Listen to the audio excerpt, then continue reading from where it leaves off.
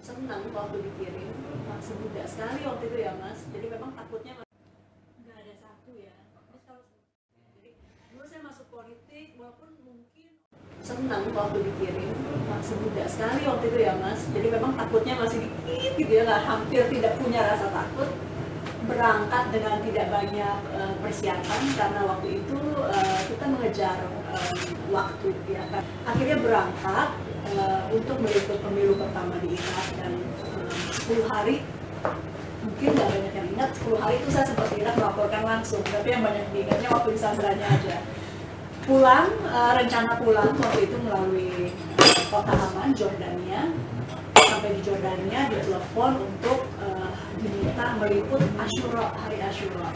Jadi masuk lagi ke Irak nah ketika dalam perjalanan darat dari Amman menuju Baghdad di tengah jalan tepatnya di antara kota Ramadi dan Fallujah kita eh, diambil di pom bensin kita sedang pergi di pom bensin diambil dan dibawa eh, mata saya ditutup eh, apa ya senjata di leher kita gitu ya. Kemudian mobil kita diambil alih dan saya udah saya mencoba ingat belok kiri belok kanan tapi udah setelah dua jam saya udah nggak tahu kita dibawa ke mana. Ketika dibuka eh, tutup mata kita yang saya lihat hanya burung gitu. Dan ketika itu saya tahu oh ini berarti saya diculik.